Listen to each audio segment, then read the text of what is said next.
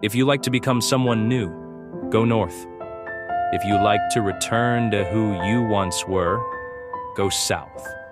After his defeat against the King of Curses, a miracle could only be made if the life of the user is offered in a binding vow.